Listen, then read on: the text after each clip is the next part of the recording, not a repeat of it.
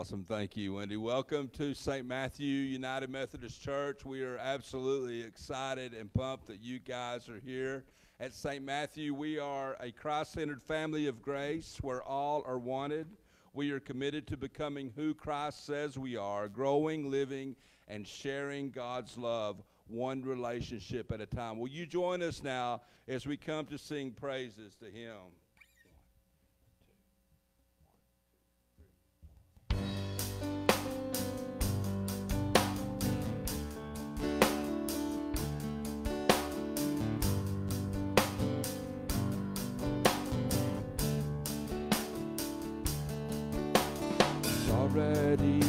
Done. You can add to his blood. It was once for all. Father gave his son. Forever we are changed by the miracle of grace. Throughout history, the Father's life remains.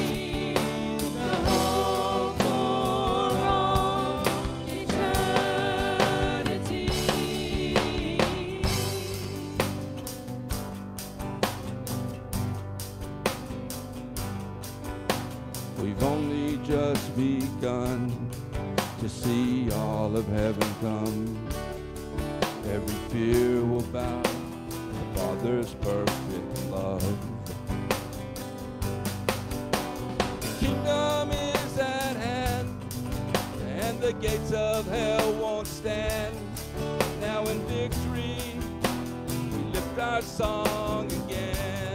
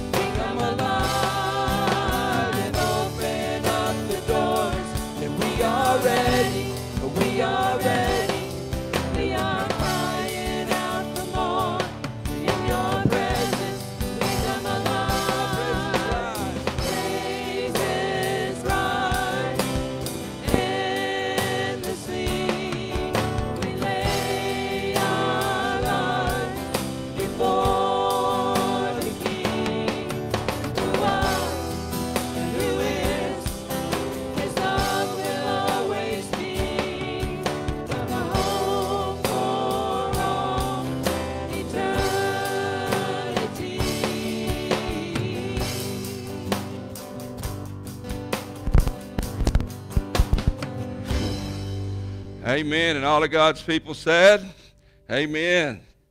Well, welcome to St. Matthew. We're glad you're here. I just have a few announcements for you this morning. Thank you, Praise Band. That was absolutely awesome. Thanks for letting me sing with you. Uh, that only happens in a blue moon. And if you heard me sing, you know why.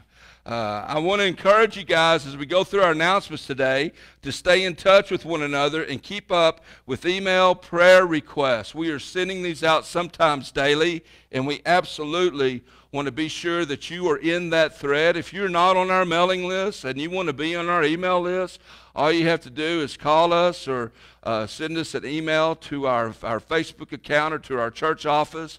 Uh, and then we will absolutely add you and put you onto that as well. But do keep in touch with each other. You know, because, I mean, make the simple phone call, uh, send a card, uh, whatever it takes for you to reach out. God may be bringing someone to mind right now that in the midst of what we've been going through, you've not heard from or you've not been able to spend enough time in conversation with. So just give them a call.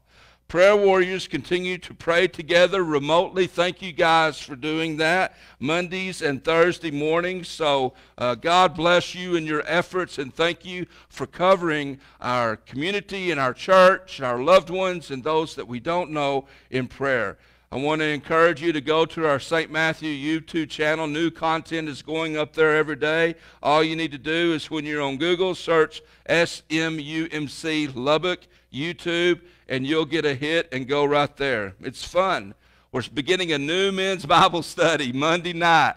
And so we are going to meet on the off weeks, Mondays, uh, opposite of the women. So they have the first and third.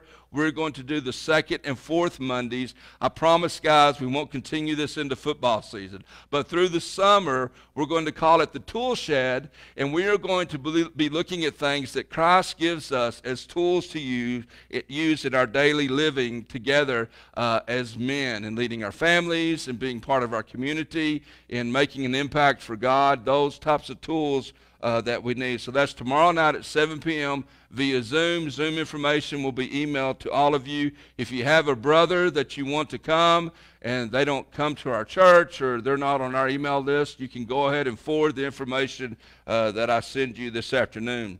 Brown bags and Bibles, Wednesday, noon to 1. Uh, that's gaining lots of traction. It's not new anymore. Uh, great, uh, great teaching is going on. We pick uh, someone every week that uh, that is on uh, line that we listen from, and we also do a new praise song every day, and so we or every Wednesday, and so we're just excited about you coming, and also don't let that just be an just you event. Invite other people as well. an upcoming Zoom fellowship get together for us is called the Fam Fair. F A M, fam, as M as in Mary, fam fair. So be thinking about sharing something interesting about your family members. That's this coming Tuesday, June 9th at 7 p.m. You'll be getting information about that as well. Kids, if you're looking for content, parents, you're looking for a website to point them to, uh, to do small lessons, to enjoy godly crafts, sermonforkids.com. Uh, this is, uh, uh, it's great. There's all kinds of content up there. You can look at the current week that they're studying, or you can go back and look for past studies as well. Be in prayer for our ongoing ministries, our first responders in Aspen Village as well. We don't forget them. Those are always at the forefront of our mind as we uh, love on and care for each other. Also, let me just again applaud you guys on your giving financially. Thank you so much. Remember, Aplos, we are online where you can give online if you want to. That is located not only on our website, but also on our Facebook page. And you're seeing the URL, I think, right up here, if I'm pointing the right direction right now with our overlay. That's right. Thank you, Stephanie. That's awesome, right? Happy birthday. Happy birthday, Kayla Moore, June 12th. Woo, woo. Well, since Kayla's with us today, back there running slides, we're going to sing happy birthday to her. Are y'all ready? One, two, three. Happy birthday to you. Happy birthday to you. Happy birthday. Happy birthday to you. Y'all give Kayla a hand. We just love the addition. Thank you for all your help, Kayla. Happy anniversary, Matt and Pam Ryan. I don't know where they are. They're not in Lubbock County. They are out celebrating their anniversary somewhere. They are on the road. June 9th is their anniversary, so we're super, super stoked and excited about that. Guys, love you. That's the announcements. Enjoy our worship service today together. Our hymn of praise this morning is number 362 Nothing But the Blood.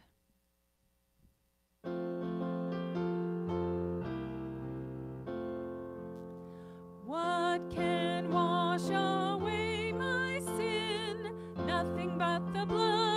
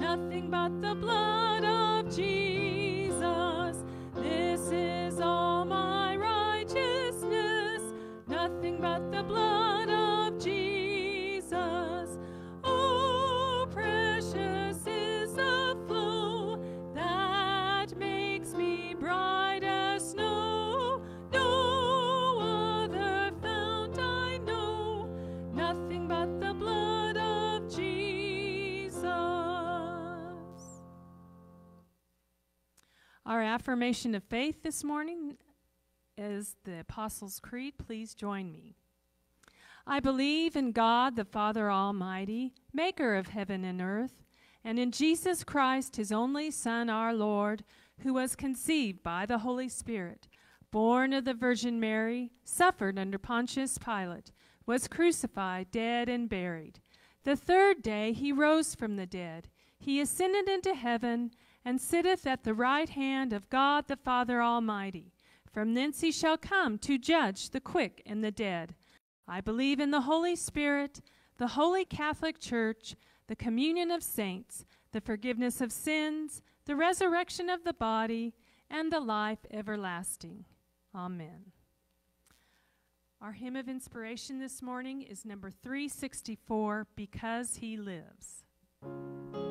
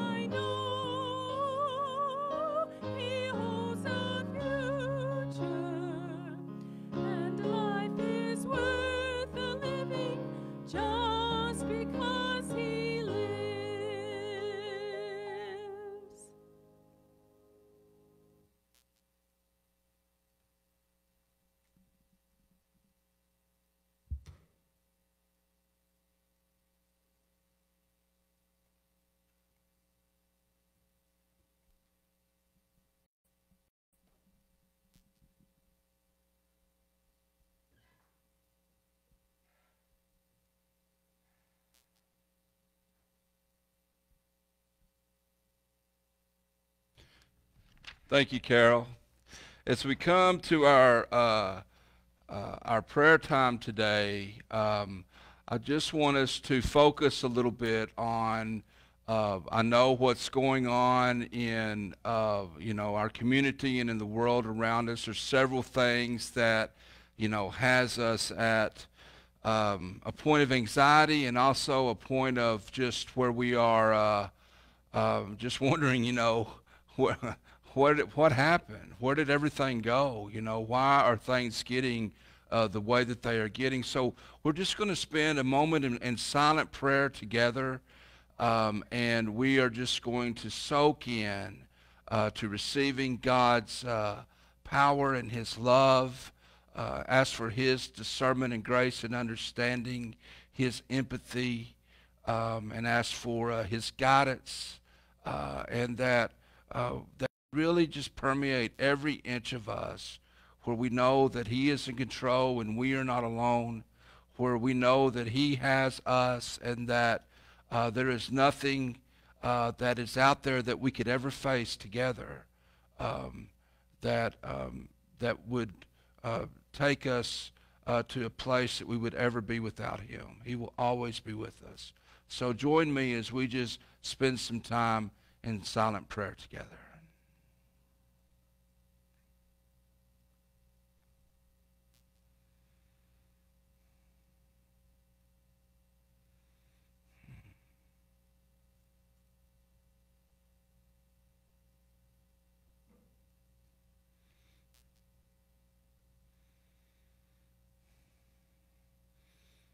Lord, we adore you for who you are, God, for the uh, for the magnificence and for the omniscience, uh, Lord, of all knowing and all being, Father.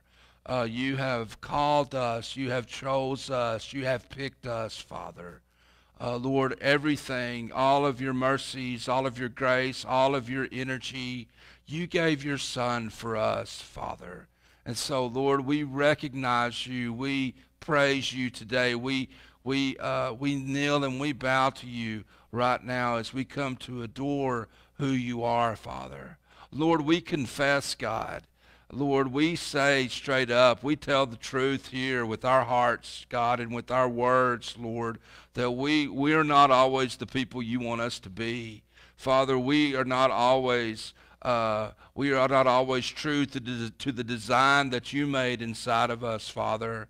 Lord, uh, we have sharp words with each other. Father, we hurt each other. God, we judge each other.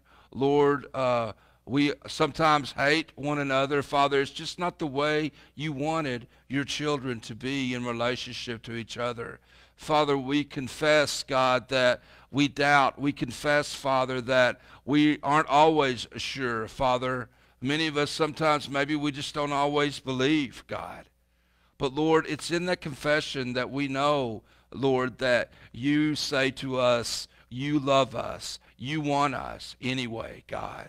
You have paved the way, Father, for our shortcomings and our failings, Father. You have paved the way for when we are short with each other and, and when we don't, uh, when we don't care for and love on each other the way that we should, when, when we don't pay you the respect that we should, or when we don't love or care for you the way that we should, God. Uh, Lord, uh, you paved the way there smooth and straight for us through what you did on the cross for us through your Son, God. And so, Lord, man, I mean, how can we say, Father, that uh, we love you? How can we say, Father, that we thank you in so many ways for just rescuing us and saving us and for what Christ did, making us right in your sight, Lord? So it is in that confession that we can also come with great thanksgiving to you, God, being thankful, not only, Father, for the others that are around us, thankful for the relationships that you have built around us, thankful for the people that you have given us in our lives, Lord, but also thankful for what you are in our lives and what you do through them for us and what you do through us for them.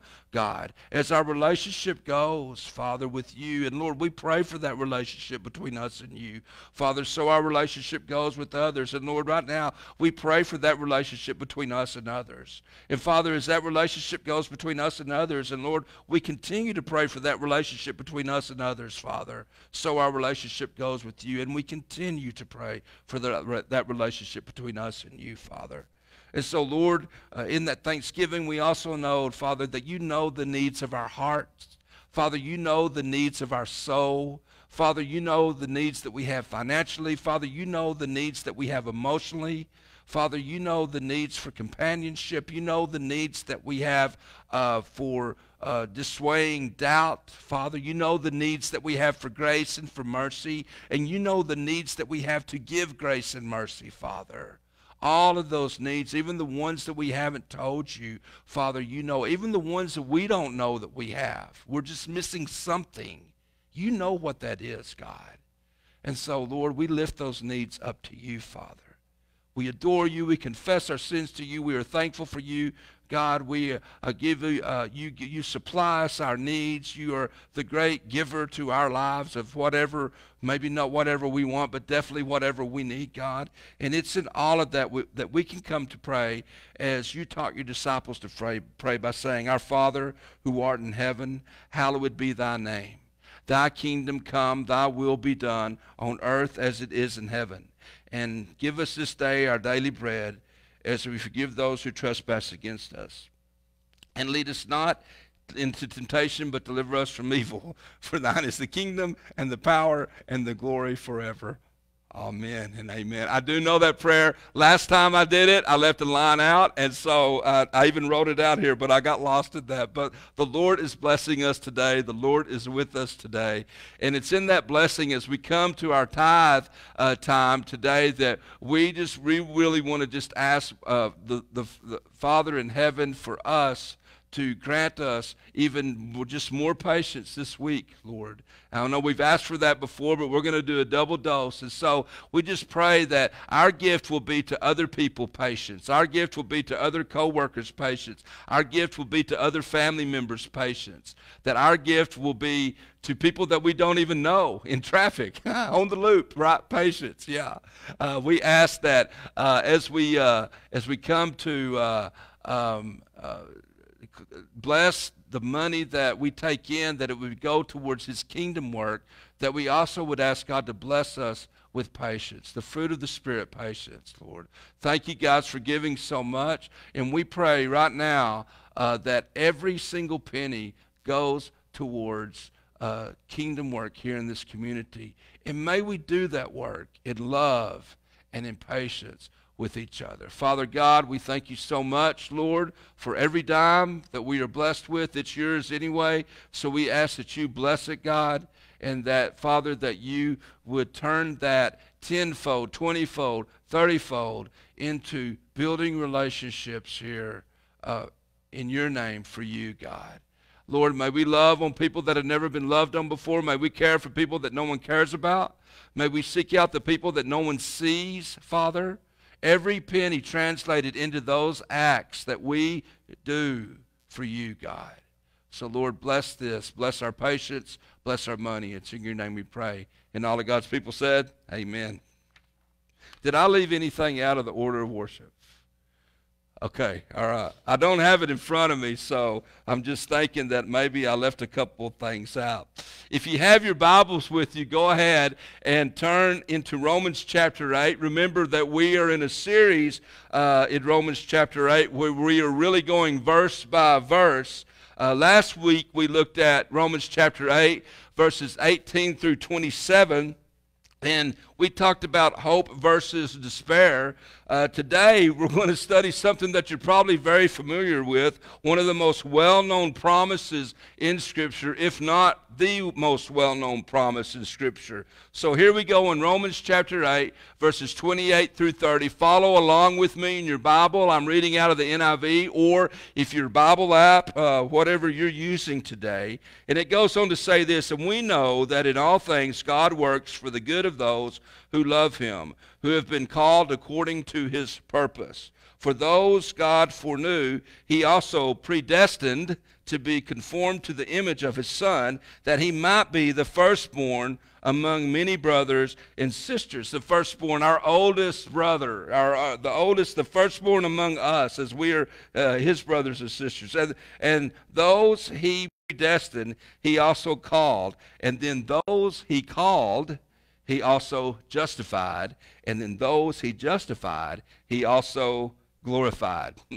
now, I, I don't think it's a big secret, church family, that I really miss sports. You know, uh, several weeks ago, uh, after uh, all sports had been suspended, I was flipping through the channels and uh, I found on ESPN where they were playing the 2006 National Football Championship. If y'all remember that one, it was that year hosted by the Rose Bowl. It was between USC and the University of Texas. Now, when I found it and I tuned into it, it was in the final quarter of the game. So I immediately texted Jill, our resident Longhorn here, uh, and told her about what was on. Uh, now, just to say something about that, I, I, am a Longhorn fan unless they are playing against Texas Tech, but that is obviously for another sermon. Yeah. Uh, I, I, watched the game live in 2006. I remember uh, when it was on. Uh, it ended up being the highest rated ball, uh, Bowl College Series game in TV history and is often considered the greatest college uh, football national championship game of all time unless, of course, uh, you were a USC fan. and I've, I've got some friends uh, watching from uh, Los Angeles. Uh, Peter, sorry about that. Texas won 41 uh, to 38. Uh, now, as I was watching the replay a few weeks ago, I discovered something about myself. I found it more enjoyable watching the replay than when I watched it live in 2006. You, you know why? Because I knew how it ended. I would have never thought that, but it's true. By knowing the outcome of Texas winning, I could pay more attention to the details of the game and, in total, enjoy the journey all the way through the final play. It was really more fun watching it the second time around because I knew how it ended. Now, this isn't unusual because there was a study done by two researchers at the University of California to suggest that spoilers don't actually spoil stories. they ran three experiments with 12 short stories, and they found that people consistently enjoyed a story more when they knew the ending rather than reading the story with a sense of suspense. Now, even though the test subjects categorically said uh, that they did not like spoilers, the data actually showed differently. To explain this phenomenon, one of the researchers theorized this he said it could be that once you know how the story turns out, you're more comfortable with processing the information and you can focus on a deeper understanding of the story so you're enjoying it a little bit more. And you know what? Now that I think about it, I do really honestly think that that's true. we may not want to know exactly how the book or the movie ends, but we do want to be able to trust the author or the director enough to know that they're taking us on this journey that may be perilous at times, of course, but ends well for us. You know, with justice and with love and with redemption somehow winning the day. So, if we know how the book ends, or if we know how the story ends or the movie ends, we can just enjoy that narrative a little differently. In Romans chapter 8, Paul super reminds us of these things. He teaches us that we can trust in the author of the story, and instead of fear, we can have faith that brings uh, that that things that that things are leading us to a great ending. Now look at now look. Some of you may find yourself in a part of your story that you never dreamed that would be written about you. Maybe you're in the middle of a chapter that is uninvited, uh, that you didn't want to begin with. Maybe it's a chapter titled divorce, or it's a chapter titled abuse, or maybe a chapter titled terminal, uh, a chapter titled fired, or bankrupt, or unemployed. Romans chapter 8 has a promise specifically for you. And it's a promise that I know that many of us have heard before. Here is what he says We know that in all things, God works for the good of those who love him, who have been called according to his purpose.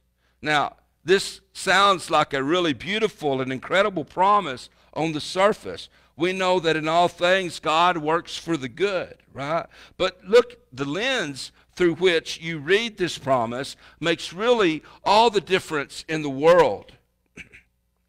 this is a beautiful promise, granted, unless it's your marriage that is falling apart, right? Unless it's your home that is broken, unless it's your health that is, uh, um, sorry, it's your health that is failing, or it's your child who is sick or struggling, or it's your job that is that is being eliminated. If that's the case, then this promise suddenly doesn't become and seem so quite comforting, and at best, it seems inconsistent. At worst, it seems offensive maybe because what's going on in your life is so strong it so strongly contradicts the very promise that scripture is telling you that we don't understand the promise or oftentimes we won't even believe it through the lenses of loss or struggle or sickness, we often just end up shouting in frustration, How can He? How can God say that all things work together for good given what I am facing, given what is happening to me, given what I am going through? It flies directly in the face of the promise that you made in Romans 8 God. Well, I just want to tell you if you feel that way, you're not alone. The church in Rome who first received these words could surely have told their own stories as well. They were experiencing intense persecution because of their faith. They lost income. Because of their faith, they lost family relationships. Because of their faith, some of them lost their lives.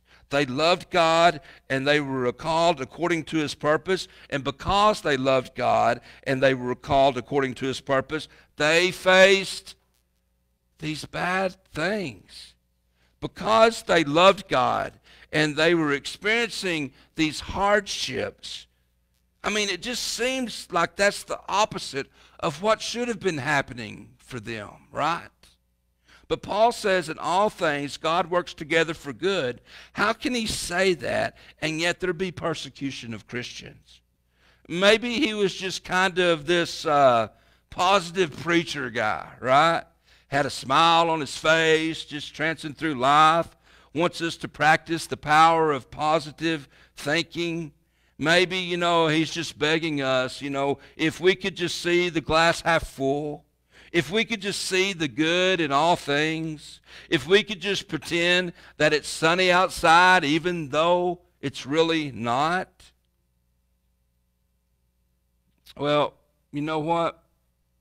that doesn't really make sense to me. Because before this scripture and after this scripture, Paul goes out of his way to really super acknowledge the reality that life is hard. Now, I want you to notice in that scripture the phrase, we know. Now, the Greek word that that comes from is oda, and it translates into we know. And so it's used 13 times in the book of Romans, and it does not mean hopefully. That word does not mean optimistically thinking. That word does not mean maybe. It doesn't mean wouldn't it be great if this happened. What it means is it means with absolute certainty.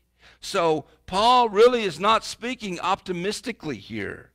He's not just being this positive person saying, you know, uh, uh, it's just going to be all right or it's just going to be good or everything's going to work out. No, what he's saying is, no, we know, we know, we know that in all things God works for the good. The same word Oda is used uh, one other time in Romans chapter 8 in verse 22. Now, we studied that scripture last week, and he said there, We know, we know that the whole creation has been groaning. So, what he is saying in verse 22 is he is saying, We know without question that life is hard. And then he goes to verse 28 that we're looking at this morning, and he says, And we know with absolute confidence that God is good. Well, how do you put those two things together? Well, let's look at first what his promises don't say. His promises don't say that if you love God and are called according to his purposes, then everything that happens to you will be good. Now, look, I get it. Many Christians implicitly believe that this truly is the case. That if I love God, if I'm called according to His purpose, if I do enough good, then bad things won't happen to me and good things will happen to me. Well, honestly, guys, that's not in the Bible and that's not in this promise. Instead, what we're told is we are told by this promise to look for God's good purpose to come out of life's hard pain. Let me repeat that again. To look for God's good purpose to come out of life's hard pain. Now, it's helpful for us at this point really to make a distinction between reason and between purpose.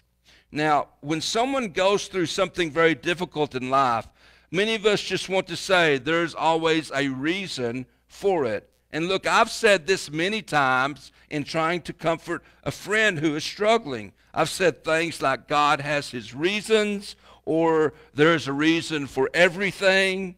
I mean, we do really just want to believe that there is a reason for everything, but in fact, God doesn't really have a reason for everything. Now, follow me for just a minute.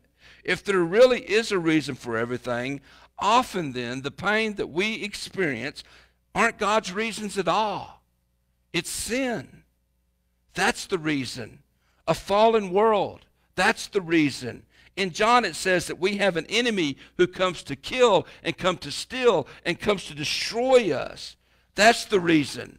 So instead of thinking God is the reason for the hurt, rather think that God gives purpose to the hurt. See, these are two entirely different things. Reason looks for a because. It wants to answer the question, why?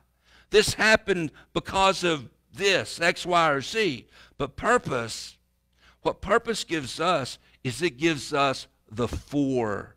Reason wants to make sense out of something that happened. But purpose offers us the hope that whatever happened, whatever happened, God can still work for good. From Scripture, you may remember the story of the man who was blind. And when the disciples met him, guess what? They wanted to know why.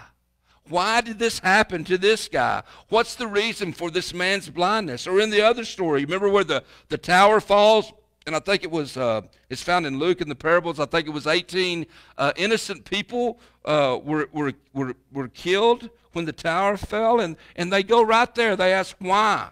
Why did this happen? But what we see Jesus doing is we see Jesus quickly shifting the focus from why did this happen to what's God going to do through this. It's a different way to look at it. Instead of looking at it and asking for a reason, we look at it and we ask for purpose. This has happened. So, God, how will you work this for good? We go on to Romans 8, 29 and 30 for now this gets this gets really kind of convoluted. For those God foreknew, he also predestined to be conformed to the image of his son, that he might be the firstborn among many brothers and sisters. And those he predestined, he also called. Those he called, he also justified. And those he justified, he also glorified. that just that sounds like a really bad, huge run-on sentence, right? But so let's just take a, a second here and let's just define some terms. And I've got a couple of takeaways uh, for you from this about how God is going to work for good in all things if, and here's the if, if you love him and if you are called according to his purpose. So the first word to define here is the word foreknew, right? For those God foreknew. Now, this is speaking of, of God's all knowing ability. And so he sees things differently than we do. We see things in this linear fashion, right? One event unfolds into another event that unfolds into another event. we see everything is having a beginning and a middle uh, and an end. But God sees the whole picture. And not only does he see the whole picture, he sees it all at once. He lives outside of time and space. And though I don't understand that because I am not God and because I don't live outside of time and space, God does. And he knows, he knows, he knows. He knows what has happened, and he knows what is happening, and he knows what will happen.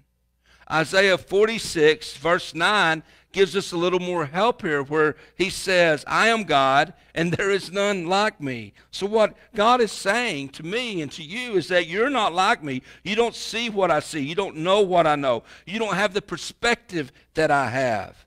And then God goes on to say in that verse, I make known the end from the beginning, from ancient times, what is still yet to come. God is saying, I know everything that has happened. And guess what? I know everything that will happen. Well, that sounds great, Todd, but what does that mean for my story? Here's what it means you're never going to be in a chapter of your story where God says, I didn't see that coming. Whoa, that surprised me. That's not part of his vocabulary. He knows it all. He knows who's going to win every presidential election from now until Jesus' return. God knows the hair color and favorite fruits of your great, great, great, great grandchildren. He knows it all. And because he knows everything, nothing catches him off guard. 1 Peter chapter 1 even furthermore helps us connect the dots here. God's foreknowledge means that he knew who his chosen sons and daughters would be. Look at 1 Peter 1 1. It says, To God's elect, and by that he means his believers who have, uh, and it, it goes on to, to list some cities and stuff, but who have been chosen according to what? Chose according to, in Scripture it says, the foreknowledge of God the Father. Now, I'm, I'm a Wesleyan. I'm an Arminian. I'm not a Calvinist, so hang with me a little bit here. So if you are a Christian, God chose you because of his foreknowledge. He knew that you would come to Jesus because of his foreknowledge. So there is comfort in knowing that nothing happens uh, that catches God off guard. Now, look, here's why that really matters for us. If we go to the next word, predestined, right? In verse 29, for those God foreknew, he also predestined. God's predestination is based on his foreknowledge. Because God knows in advance, God can predestine or God can preordain everything that happens to us as Christians. It doesn't say that he causes everything that happens to us. It says that he predestines it. What that means is is that the outcome is already determined for us as Christians. This means that if we are Christians, this turns out well no matter what happens to us. So everything that happens to us, all things, be they good or be they bad, will do what? They will help us to be conformed to the image of the Son of God. They will make us more like Jesus Christ.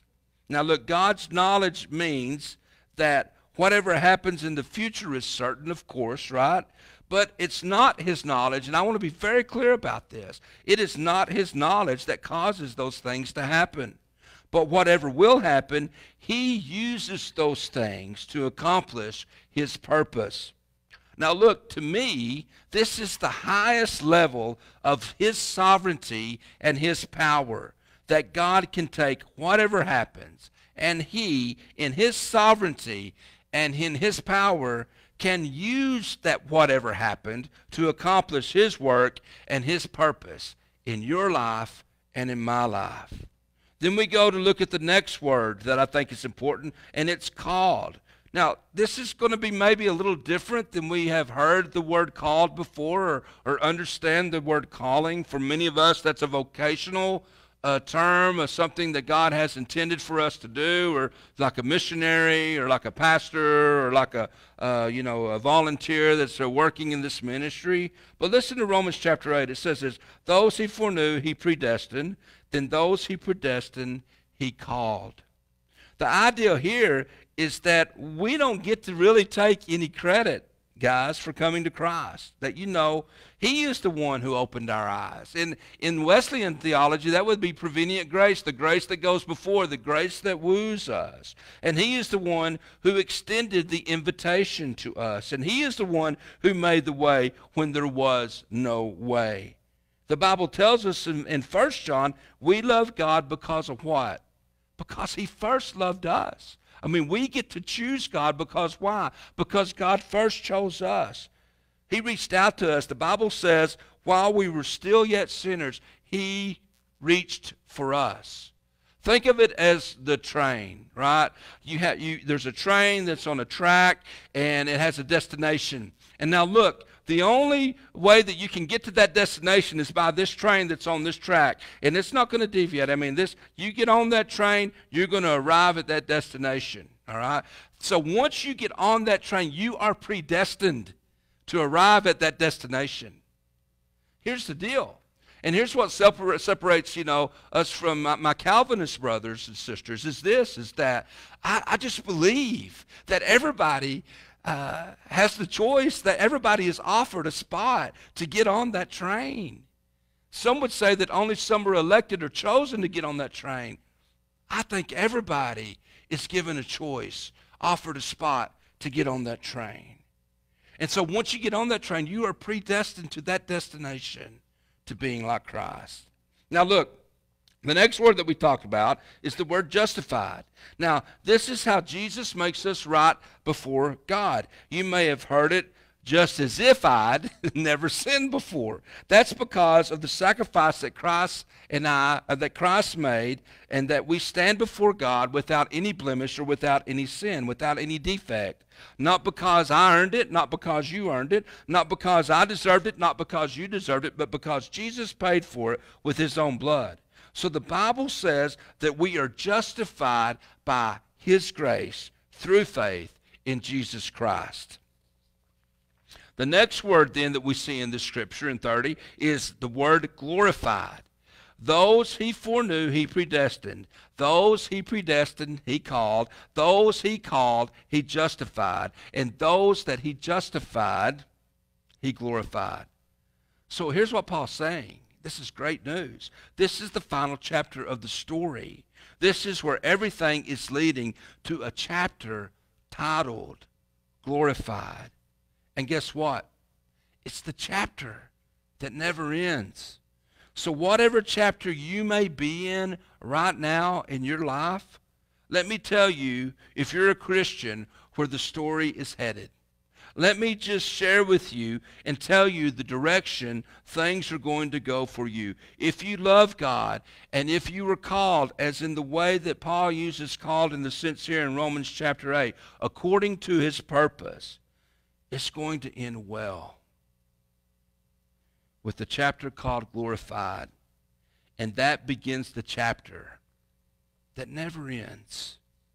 And so we have this confidence. So we can have this faith instead of fear because we know how our story ends. Now, God working good in all things. God working in all things good. God doing good no matter what happened, no matter what's occurring. God doing good in that situation. Here's what that's going to do to us. The first thing is it's going to draw us closer to Him no matter what is happening. The second thing, when God is going to work all things uh, for good for those who believe. It's going to make us more like Jesus, no matter the situation. And the third thing that is going to happen when God is working that good in all circumstances it, that it's going to take us to be with Jesus. Guaranteed. Now, look, I don't want to be one of those people who tries to offer this one minute secret to solving life's most difficult challenges. You know, instead, I would just much prefer uh, to point you to the author and tell you to trust the end of this story. Uh, as I close, uh, there, there's an illustration that's been around for a long time. I first heard it from Corrie ten Boom. Now, Corrie, she was a committed Christian lady who experienced the sufferings of the concentration camps because you know she was holding and rescuing Jews. And I ha- I couldn't find this. I have to paraphrase it. But here's what she said: We watch life unfold, and we view it like we are viewing the backside of a tapestry. It appears from our perspective in the knotted, seemingly random sense that nothing really makes sense. We don't understand it, but things are not always as they seem. It's only when you turn the tapestry over that you see the art and the rich colors and the texture and the patterns, and you find out that it is truly a thing of beauty.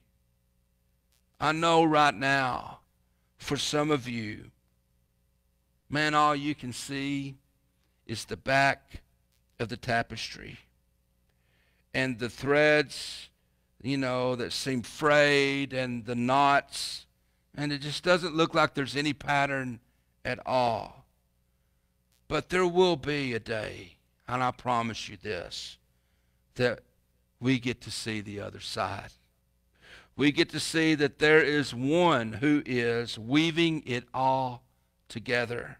It turns out he knows precisely what he is doing. So God is the master weaver. He weaves all things together. And look, if we love him and are called according to his purpose, he weaves all things together for our eternal good and his ultimate glory. I love you guys very much. God, in all things, can work good no matter what you find yourself in. Don't give up. Let's pray. Father, we thank you, Lord, that you are the true, good God for us, Lord, that you are not a liar, Father, that this promise, though it doesn't seem when we are really facing the stress, it doesn't seem when we are really under the gun, when it doesn't seem that we are really just taking it from all sides, that you're working any good in any of it, God. But Lord, you are. We may just be seeing the back of the tapestry, the knots and the tanglements, nothing that looks right or has a pattern. But Lord, the good work that you began in us, in our lives, you are going to finish. And you're going to turn that tapestry over, and it's going to be beautiful, Father. So I want to pray for encouragement, Lord, for those that find themselves in a chapter today that they never expected to be in, a chapter today that is being written that they thought they would never help write, God. Lord, for a chapter today that they never wanted. Lord, I want to pray for them right now, God. Father, that they would hear the entirety of this promise. Lord, that they would know that you love them very much and that they are not alone and that you are the master weaver. And though they may not feel it, though may, they may not know it, though they may not sense it, though they may not see it, you are working good. You are working in all things good, God. So we love you and we trust you and we need you, Lord. Thank you, God, for loving us. It's in your name we pray. Amen. I'm going to ask if uh, Don will come up, and Don is uh, uh, going to lead us through um, our love feast together. And Don, I just I want to let you know, man, thank you very much, and I love you very much. Oh, sorry, I pulled that in now. There you go. Thank you, brother. It's on.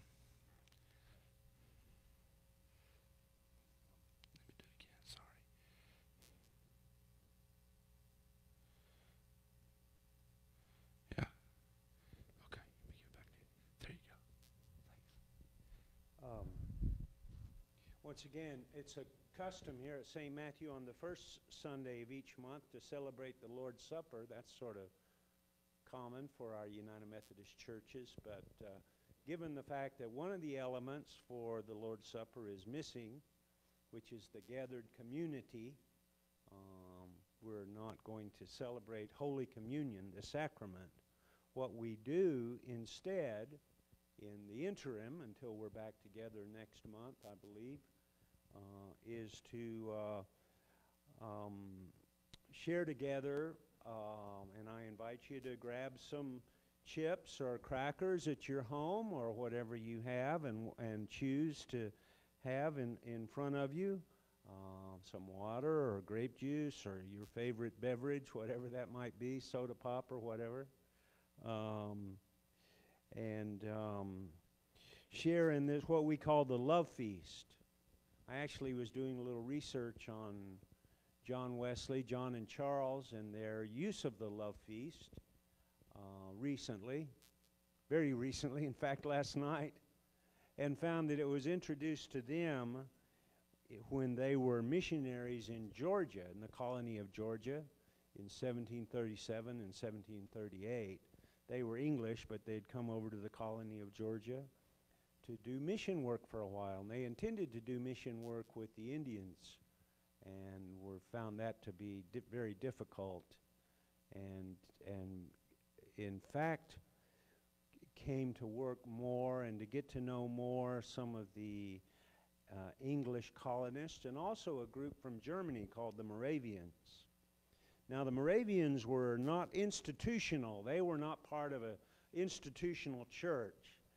They were somewhat uh, marginalized from the Lutheran movement in Germany, so they found a, a place of peace where they could make their own way, first in England and then in, in the colony of Georgia. And so one of their disciplines was a, a, simple meal, a communal meal that they would share believers, and they called it the love feast. And here's the way John Wesley described his participation in the love feast. This was in August of 1737. After evening prayers, we joined with the Germans in one of their love feasts. It was begun and ended with thanksgiving and prayer and celebrated. Listen to this, this is kind of cool. And celebrated in so decent and solemn a manner as a Christian of the apostolical age would have allowed to be worthy of Christ. Also, I was looking at that um, part of what uh, the Moravians did when they gathered for Love Feast was have holy conversation. And they carried that over into Wesley's tradition as well. I want to have a little brief conversation with you this morning. It's going to be a one sided conversation. I looked up another passage of John Wesley's journal a few weeks before his encounter with the Moravians and their love feasts. He was um, visiting with an African slave in Georgia. And he was telling them about the promise that he believed in, that he would be glorified at the time of his death. And he asked this African slave if, if he didn't believe the same thing. He asked him to look at his hand and his feet and, and say, What's going to happen to your soul when you pass away? And your hands and your feet and your body is no more. African slave said he believed that he would be uh, would go live up there.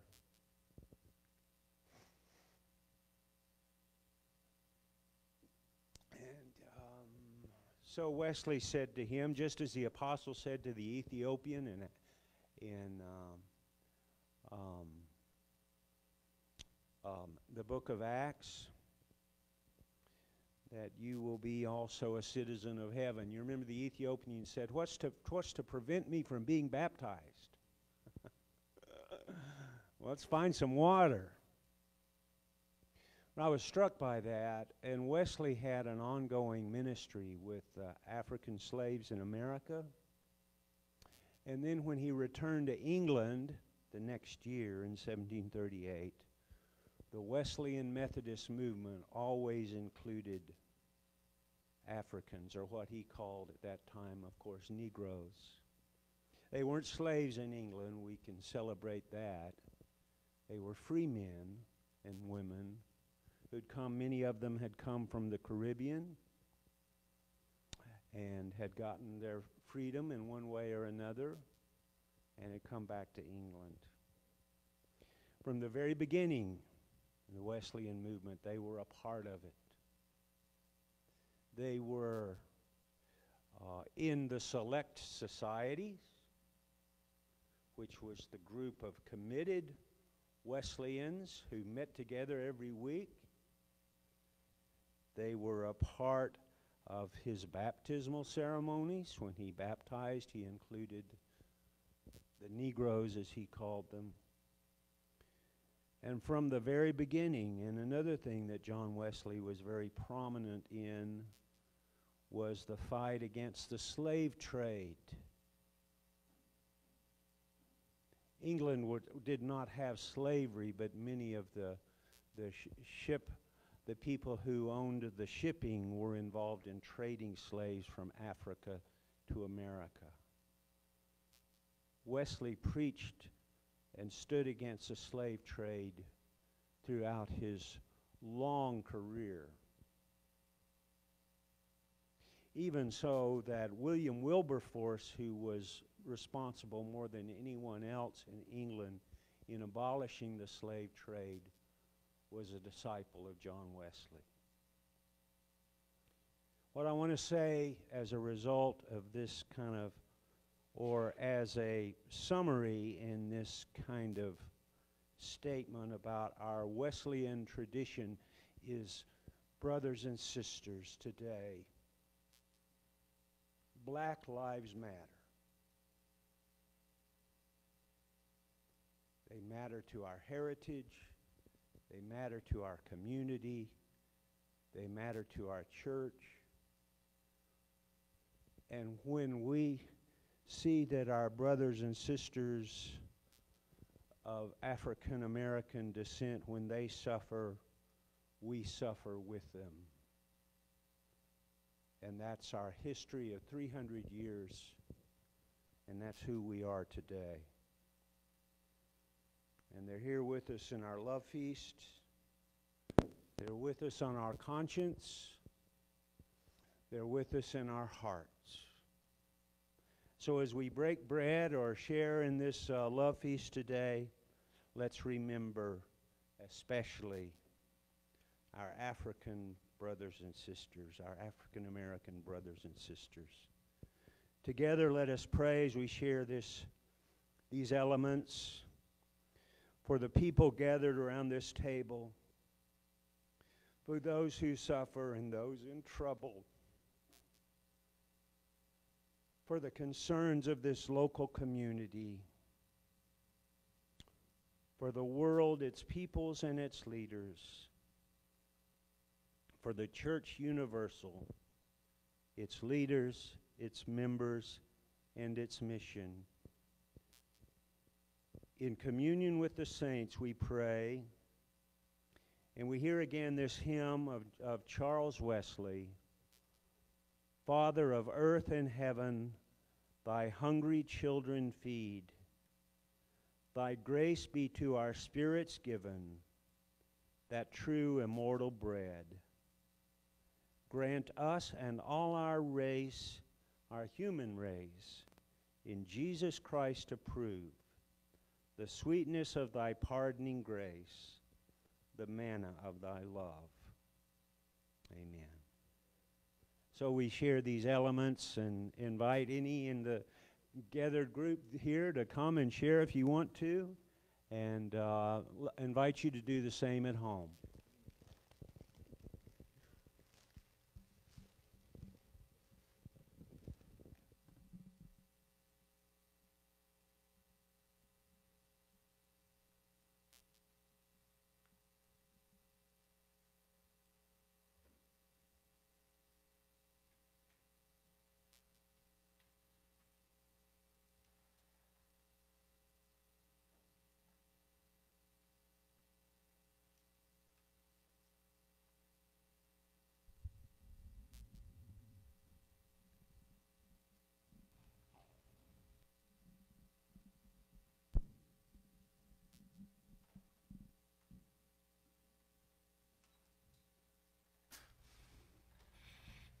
Thank you, Don, so much, man. Really good. Really, really good. Uh, as we come to close our service today, I just want to encourage you. Uh, we're going to sing another praise song together. So wherever you are right now, uh, just just lift your praises up to God uh, and give Him all of the the praise this morning for us. So here we go, guys.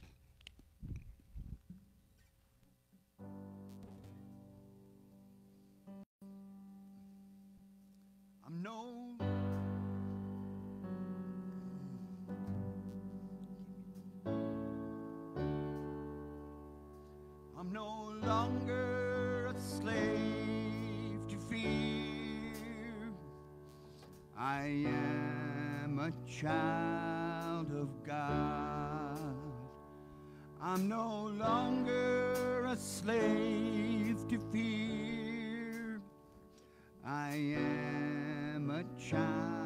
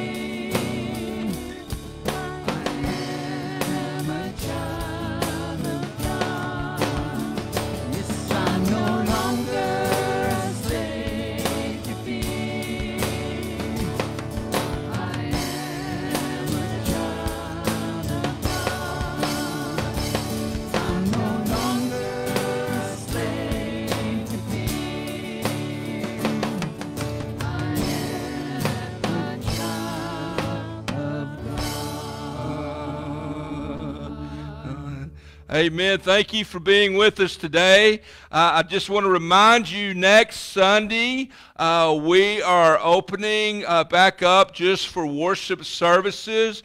You will receive an email with the details about how the reservations work with that and what all we're doing to prepare uh, for our church family, those that want and feel comfortable to come back together and worship with us. But listen, we are also doing our online worship as well, and we are not going to change. We will run it at the same time.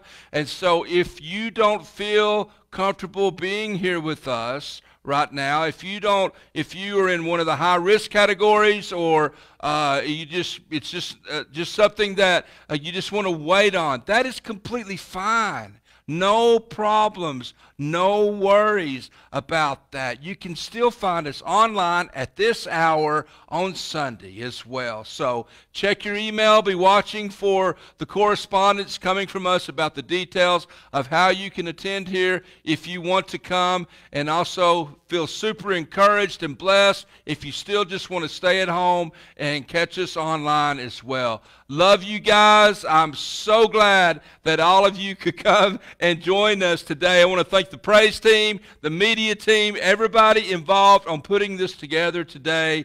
Guys, I love you guys. Thank y'all so much. And guess what? God loves us more and God loves you more too. Accept this benediction.